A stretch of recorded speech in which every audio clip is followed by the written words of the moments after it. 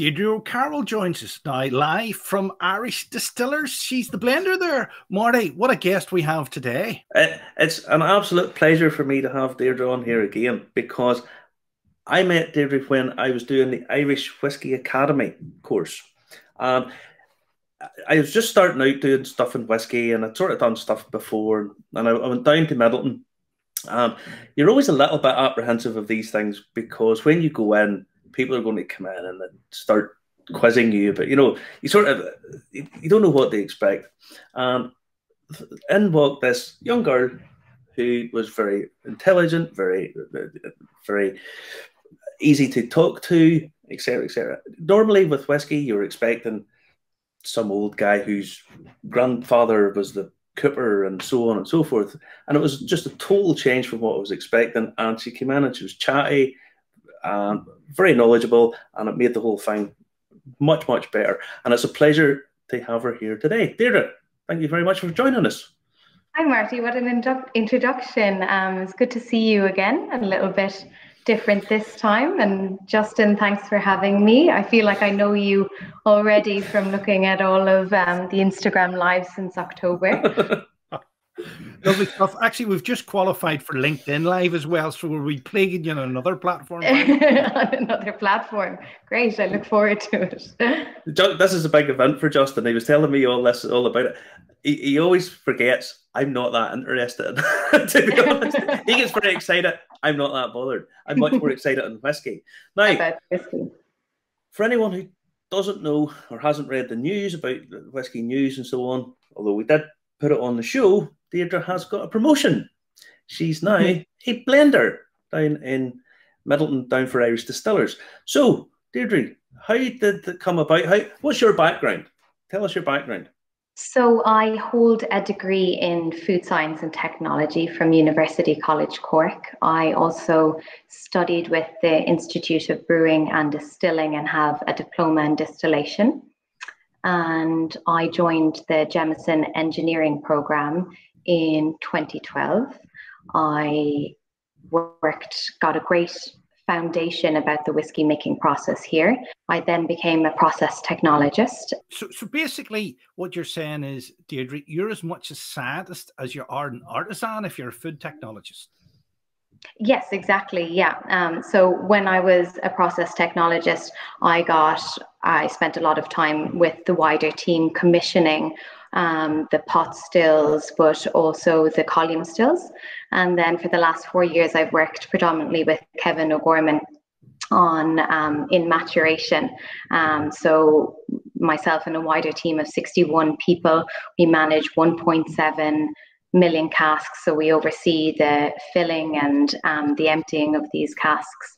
And then, yeah, um, as you mentioned, I um, newly appointed blender. So looking forward to getting uh, stuck into that. 61 people divided by that many million is it would take you a lifetime to count them even. I know, I know. Justin, I do it on a smaller scale. I don't bother with the filling, but I empty the bottles. So I'm I'm mm. I, I, I'm a bit very much an amateur at this. You know, very much a, an amateur. Now, now that you're a blender, what mm-hmm. does what's an ordinary day? What does a blender do for people that wouldn't be from au fait with what a blender does, uh, and how do you go about it? So I still have my uh, feet in both camps at the moment. I'm training in Brona, who's replacing me, um, but trying to get as much knowledge from Billy Ma- Leighton, the master blender, and Dave McCabe, um, a blender also here in Irish Distillers. But as you can imagine, a lot of the blender's role will be to do with uh, sensory analysis. So, from a quality control point of view, um, we are nosing casks. Um, so, any of the new distillates or any of the new cask types, we're seeing how the the liquid is maturing over the years.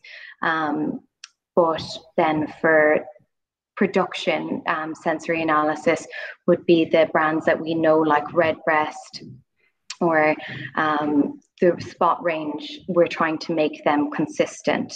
So we're looking at age profile, cask profile, um, and we're just making sure that the brands that you know and love, we're getting them batch on batch. So a lot of it is to do with stock management. As you as you can see, we have 1.7 million casks. Um, so your nose will be tired at the end of the day. So I, I assume there's a lot of Excel spreadsheet involved in, on, in the whole process as well. Yeah. just to try just to try and manage all of that. Now, yeah.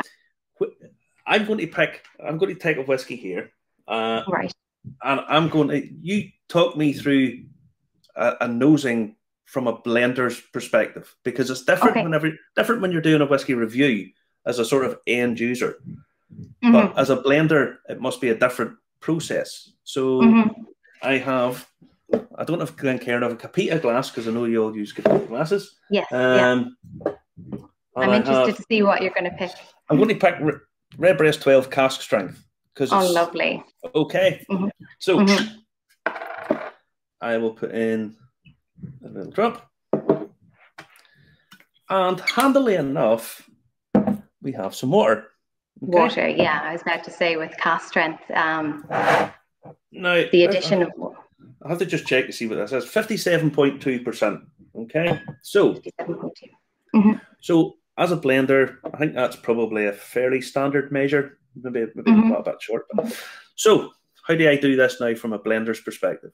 From a blender's point of view, so what we'll do is we'll send um, a sample request to one of our trusty colleagues in the warehousing department, and they're going to come with um, the different components that will be brought into um, the likes of gem or redbreast 12 um, so that would be like a, a sherry cask um, uh, a first fill sherry cask with one of our distillates here. And then what we'll do is we'll nose them to make sure that they are consistent and a sherry cask typically we're going to be getting um, nutty notes uh, really rich sultana mm-hmm. notes. Um, so we're from a blender's point of view, we're looking at all the different components. And then what we'll do is we'll make up a composite here. Um, so the likes of redbreast, we'll make up a composite of the different percentages of the different types of casks. And mm-hmm. then we'll nose that. And often what I do is I do a really slow inhale. And because you're often met with notes at the start and then notes at the end.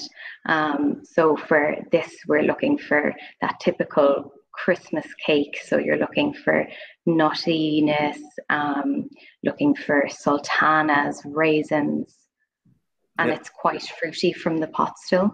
Yep. As well. That, that, nice little spice for Christmas cakey type spice coming off it as mm-hmm. well. It's yeah. Is it for anyone but, for anyone who doesn't know what a pot still is? because I have to, we get we get plenty of viewers from all across in Canada and America oh, and stuff, okay. and mm-hmm. lots of them don't actually. We keep plugging pot still, but we just have to keep reminding pot stills. Uh, the mash bill is malted and unmalted barley. When the unmalted mm-hmm. barley gives it that little bit of spice, so it's a different. It's a PGI product to Ireland, so. Mm-hmm.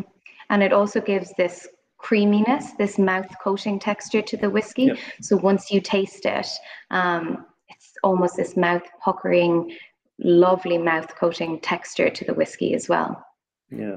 So now you've got a, a cask strength in the glass. Um, what do you do now as a blender? So, as a blender with exactly that composite sample that I was talking about earlier, it would be cask strength. And what we find when nosing um, a whiskey by adding uh, water, you're bringing down the, the alcohol content. So, did you say that was in its, its high 50s? Um, so, by bringing down the alcohol content, um, you're allowing the natural aromas, but also water binds to the alcohol, so it opens it up, um, yeah. and the flavor components can often change, which I'm always amazed at only the tiniest drop of water will completely open up and change the palette. So I think when you add the water to this particular one, um, I don't have it in front of me, I'm a bit jealous now, um, but it, it makes it a lot more fruity. And what would you take the ABV down to? Um, for for blending, we typically bring it down to um, we cut it half and half. So um, you can just add the same amount volume of water, but for new distillates coming from from the plant, we would bring it down to 20%. So I'll put, I'll put in a lot of water into this. What would be considered a lot of water? So I'll put in say four teaspoons, and that'll yes, take it down. Yeah, but, that would be. But for for for tasting this, you'd be probably bringing it down to its high forties. Yeah. You know, but for for blending purposes, we're bringing it a tiny bit lower to see if there's anything that we don't want. So, you, so once you start put, putting in the water, you're really looking for off notes rather than. Are you looking for off notes rather than the constituent parts of what would be going in the bottle? Is, is that uh, correct. We're looking for anything, yeah, that undesirable, um, but also for the likes of Redbreast, where we're trying to keep it consistent. So what might be desirable in another whiskey, we're trying to keep it very consistent with what Redbreast 12 is for the consumers. Yeah. So do you have a score sheet? Do you, you know, uh, do you have tick, tick, tick? Uh, this is this, this. Is it predetermined or do you, you know, what way does that work? Do you write down how many different flavors are you, do you get from a nosing as a blender? Um, so as I said, we're looking at it. Um, we're looking at it in the composite in the constituents. Um, so all the different ingredients, we've separated them out in the different cask types, and we're nosing these casks singly. So it depends on what if we're looking at um, an ex bourbon barrel that will go into redbreast, or if if we're looking at a sherry, we're looking at them individually, and then at the end we're we're making sure you're comparing it to um, a redbreast cask strength that you'd have as a sample. As a sample. Mm-hmm. Now, I've done the nosing. I've no off notes because I'm actually just about to taste this. This is the, this is where I'm going with this. So, just, so now, you feel a bit hard done by, Justin, that we don't have. Um... He does this all the time to me. he, he, does this, he gets he gets sent the samples, and I don't get sent any. And I'm sitting here going, "What am, what am I going to do? What am I going to do?" He, he does this every week, nearly. I'll just I'll just say I bought all of this. By the way, Justin, I didn't, didn't get sent any of this. Now, now I've done the nosing. Mm-hmm. Now, now, now do I taste? Now, now can we take a taste? Of course. Yeah, we wouldn't deny you that.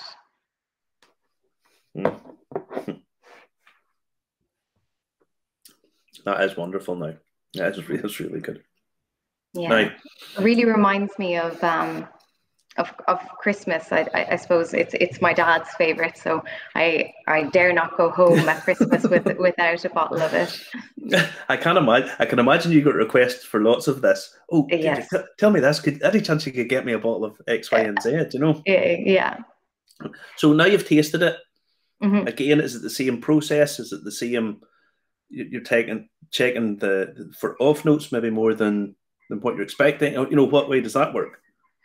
Yeah, again, so you're you're you're you're checking for off notes, you're checking and um, again, it's just coming back to the flavor components that you expect out of a redbreast, you know, 12 year old. And as you can imagine, we're using natural products, we're using casks, you know, that that vary, you know, from year to from year to year from different wood types. so you're making sure that the the product is consistent and then the correct percentages of those. Um, but yeah, I, I think it's it's a combination of you're looking for off notes, but it's a you're also just trying to keep it consistent. So yeah.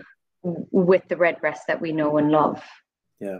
Uh, so uh, once you have your data, once you have your your the, the data that you expect everything to be and checked it for off notes and done that, then you take it, enter into Excel, I assume. Mm-hmm. And that's mm-hmm. you'll go for your cask, you'll go for tick tick tick. That's that's it. That's it. Mm-hmm. Do you give it do you give it a score? Do you do you mark down uh, is there what way do you do it for that? Uh, you, uh, you, we don't give it a score. It's, it's just, it's, it's, it's good. It's, it's consistent, and it's, it's ready to, to be bottled. Um, so then, when it comes in, in, in its recipe, let's say, um, to where it's being um, disgorged or, or dumped, as we call it. We have our whole our own language. um, we we bring it to the warehouse and then it goes through. Um, so as a blender, we'll pass it, but then it will go through into a big vat. And there again, we have a sensory panel on site. And what they'll do is they'll nose it again for off notes. Um, so it's nosed twice when it's put into a vat and, and mixed all together. Um, and then afterwards, uh, before it's put into a tanker to, to go to Waterford to be bottled, it's actually nosed three additional times from our tasting panel, um, just to make sure that nothing was picked up during mm-hmm. the process. Have you actually ever blended something and then had to pour the whole thing down the drain? Does that happen? Find to happen. Uh, it's it. No, it hasn't happened yet. thankfully, I think. Um, I think with our noses and the noses that have gone before us, we have um, we have noted uh, before it gets to that stage. Yeah. Thankfully, and you can you can often reject a cask um, prior to getting to that point. You know, yeah. um, I think one of our biggest things is because um, Irish whiskey. If let's say if we have a four-year-old whiskey um, or a component, um, and you have to make sure not to add that component to an age statement product like like Redbreast or um, because that's 12 year old, it automatically becomes yeah. three years old. Um, so you have to be very careful when you're, yeah. you know, you'd want to have your coffee that morning when you're doing blending. Yeah, just make sure. No, mm-hmm.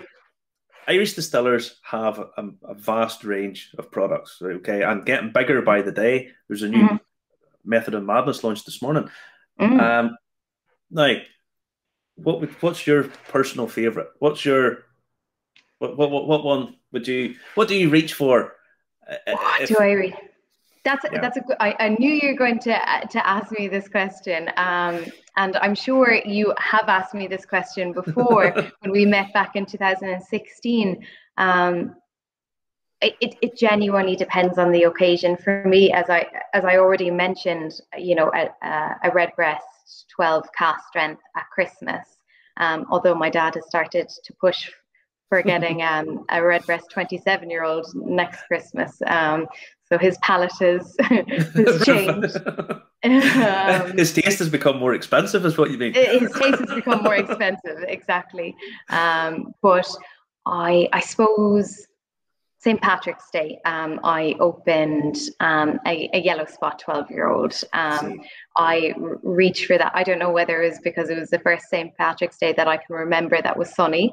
Um, and it reminded me of, uh, of the Malaga cask that we use in it. Maybe I thought I was in Malaga, but it really depends on the yeah. occasion. Yeah. Like a, a, a Friday afternoon after a week's work, you know, I, I, love a Jameson Black Barrel, or I might do a, a Jameson Black Barrel Sour. It, it really yeah. depends on the occasion. I, tell I tell people this as well. Um, that, I mean, this Redbreast is a, it's a nighttime whiskey. It's a it's a mm-hmm. sort of autumnal nighttime. You're sitting at home with the fire. With you the know, fire. That's kind of what this is for. Mm-hmm. I, I think Yellow Spot is the best of the spot range. If I'm honest, I think it's I think mm-hmm. it's the best by by a margin. Uh, is, is, how I would consider it. So I'm glad you I'm glad you glad to hear you saying that. But it is it's all all subjective. Now, Deirdre mentioned I mentioned earlier on about the whiskey academy. I have my certificate here. I've, I've, Your certificate. My certificate, and actually the the academy blend.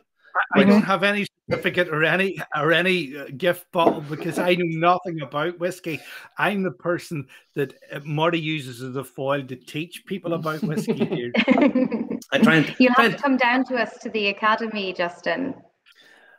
That would yeah. break the pre- entire premise of the show. Then, if I actually had been on a training course, yeah. I, I, keep trying to tell Justin certain things about the whole stuff, and it falls on deaf ears. Much the same as whenever he gets all excited about, oh, you've got we've got an extra two listeners in in Zimbabwe this week. I don't care. Anyway, but I, I, I went down to the uh, academy, and it's mm-hmm. it's a wonderful experience because you get to chat to a professional, someone who's actually in the trade, someone who's there in the business, and you get to really see behind the scenes and get to go to places that you just wouldn't get to on a on a generic mm-hmm. tour, and get to, to someone like yourself who is a professional. Now, do you still teach at the academy? Is that still going to be something you're doing? No, as I mentioned, um, I that was something that I was supporting in in my process technologist role. So it's it's Tommy Byrne now who is um, a tutor in the academy, um, but I during the summer we actually did a virtual academy myself and my my team, um, which is which is great to yeah. have that opportunity. Yeah. Now, I, I mentioned that there was a new bottling of uh, Method of Madness come out this morning. Mm-hmm. For anyone who's not sure, Method of Madness is from the micro distillery down in Midleton. Mm-hmm. And it's the experimental ones. Now, this one's the French chestnut. Um, mm-hmm.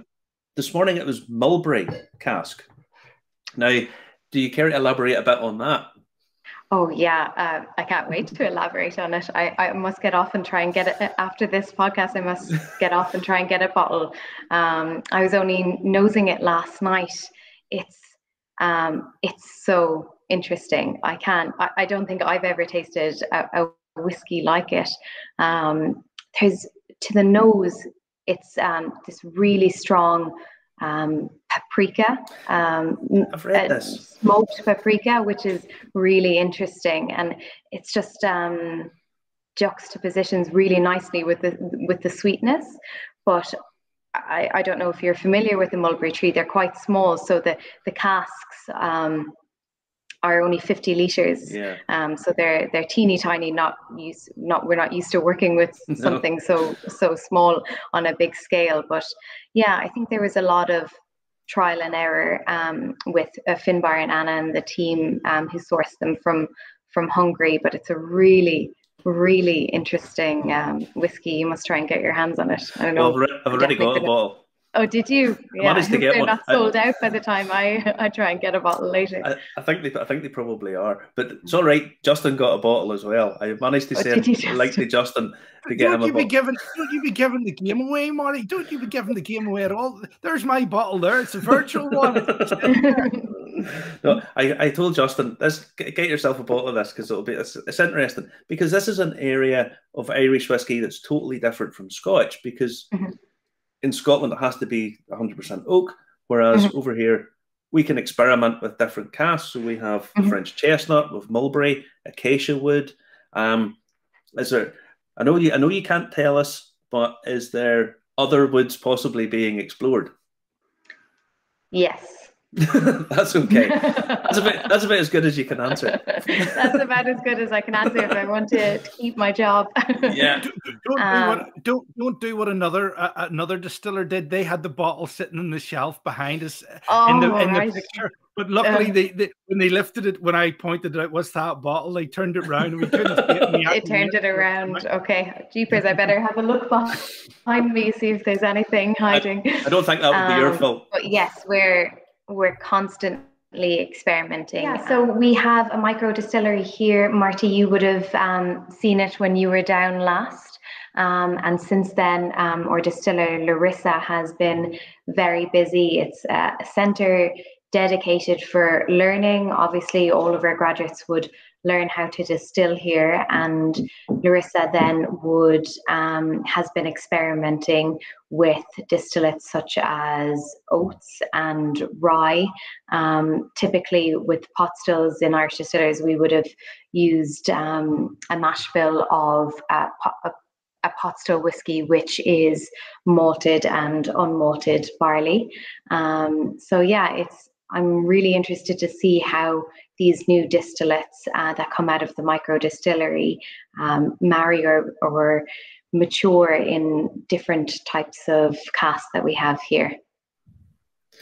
Uh, the, uh, the, the the cask selection, I assume these days there's so many different experimental casks. Everybody's chasing around for different cask finishes, different wood ty- styles.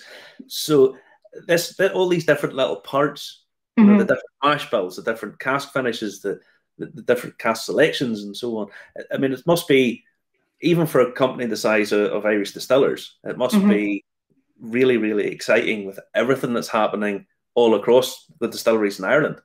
Oh, completely! It's such an exciting time to be a part of yes irish distillers but in in distilling in general it's um as you mentioned, we it's it's just a time to get creative with all these different cask types, um, with new distillation, you know, with new distillates, and it, it's great Surely to see. everything's been tried now in whiskey that's in the past three hundred years. What hasn't been done that you're going to do? Um, I can't, I can't answer that, Justin. With the with the likes, that's a secret. Um, I'm looking forward to getting very creative. I, you know, it, myself and the blending team, and working again with the micro distillery, and um, I think it's very exciting that there is um, a trend for premiumization. So people are are, are drinking less, but they're drinking better quality and and different types of of of products. So it, it's it's a very exciting time to be a part of the industry. I think. Now, this was released. Was it two weeks ago? From the, the Redbreast ten year old, yes. Yeah. Redbreast ten year old cask strength. Now I've noticed. Uh, it says exclusive. Mm-hmm. It says limited edition. Mm-hmm. Cask strength batch one. Now they're going for the collector's market a bit here. Now let's be fair, because mm-hmm. this is this is a very box ticking exercise for the collector's market. Now, come out, it's obviously got the new branding and new imagery on it. Mm-hmm. Um, if I'm honest, I I would prefer the 12 year old. I thought the 12, I think the 12 is better than the 10, but that's just personal preference. Mm-hmm. Now, on the back, on the back, it says to celebrate the 30th anniversary of the rebirth of Redbreast because it disappeared for a while and then uh, Irish distillers took it up again. Mm-hmm. Master blender Billy Leighton and blender Dave McCabe. Now, I want to see Deirdre O'Carroll's name on one of these some one of these days soon. That's what we're mm-hmm. looking for. We That's want one of these. Mm-hmm. That's what we're looking I know. for. uh, yeah. Now, if you had to, if you had to pick something that you would like to try or like to see or like to do yourself, what would be something that you would like to do? Um, it's you know I have loads of ideas. I, I suppose I I love I love just working primarily with um, with the micro distillery. So trying new distillates in, you know, we're we're trying some of our um, traditional style of whiskies in, in different wood types. Um, but I'm really looking forward to seeing what comes out of the micro distillery in in different wood types and seeing how they progress as well. Yeah. I, I, and I, would love to see it. Now, I'm going to show Justin. This is Midleton very rare, okay, and this is a really, really rare bottle of this, a really rare bottle of it because it's opened. These are now going for really, really high price now. I mean, mm-hmm. the, the, secondary market on these has just went crazy in the last little while. Mm-hmm. Uh, now, I know, I know, the producers don't look to the secondary market, but you can't ignore that. And whenever you've got the, the, the, exclusive, the Birdhouse exclusive, the limited edition printed on the box. There's obviously that element to everything too. Mm-hmm. So, with the new experimentation and the new interest in collecting whiskies, mm-hmm. interest's never really been as high, or certainly not for a long, long time. Mm-hmm. Uh, so, do you do you have a collection of whiskies at home? Do you get into that because you must have access to some nice collectibles? Uh, I do, um, and I would say it's only in in the last year that I've started getting into collecting. But what I, I tend to do is I tend to buy one to keep and um, and and one to one to taste. Oh, yeah. Um, you know, just to it's it's important to open these bottles and have and have a taste. Um, I would love to open them, but Marty keeps on telling me to buy them and sit on them for 10 years. I've got to wait you only buy one. for 10 years. 10 years. You only buy one. And uh, there's always, I always have some, if you want to taste them, Justin, there's always ways of getting you a taste of them. Don't worry about that. We'll get you sorted. Because mm-hmm. the bottle shares and all the new grips and stuff. I, I'm actually a fan of this. And I don't know what sort of process. That's really actually I was pleasantly surprised by that. Mm-hmm. I thought it was I thought it was an awful lot it punches well above what I expected it to be, if I'm honest. Yeah. Um, I really, really like that. It's really, uh, yeah, the Jameson cold brew. Mm-hmm. The Jameson cold brew. Now, I'm really looking forward to the day that your name's on one of these bottles because I can I can see it coming. I can I I, I think the likes of yourself with um, with new sort of vision and new eyes, and you're moving from the sort of science area into the blending's more of an art. You know, we, we sort of see it as more of an art than than, mm-hmm. than science, and you're moving across into that with these with new ideas and new eyes, and I'm really looking forward to that. Uh, what coming in the future, but I will have to just bring up a point. When I was down at Midleton and we were doing the course, you get a little bus. Bus takes you up into the, the warehouses, and you're you're like this walking in, just these thousands of barrels of whiskey and the smell, and you get to taste the port pipes and stuff. It's amazing. But on the way back, there was bunny rabbits running about, and Deirdre, oh look, bunny rabbits! She got very very excited by this. Uh. I told her that very near where I live, you have these. These are golden hares, and they're they're golden when you see them in the sun, they shine and they've got bright blue eyes. So I, I, thought I was, I thought I would show her a picture. These are on Rathlin Island, which is just round the corner from me. It's obviously an mm. island, so it's a, just round the corner and a bit of a boat ride. but, but, these are just pull it up full screen there for us, Justin. All right, I'll, I'll, I'll pull the best picture. The blue eyes. Yeah, bright blue eyes. Look at that there. Yeah.